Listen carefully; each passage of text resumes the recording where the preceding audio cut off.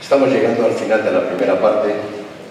y se nota que les gusta el concierto porque aparte de la categoría de la banda tenéis, estáis, tocando a favor de obra, o sea que a la gente le está gustando, por lo menos por los aplausos que están dando. Gracias porque lo merecen sinceramente. Digo que estamos llegando a, mitad del concierto, a mitad de este, de este evento musical y en este caso se hace más que esperar, se hace más que, no sé, los nervios me imagino que andan a flor piel, puesto que se va a producir un estreno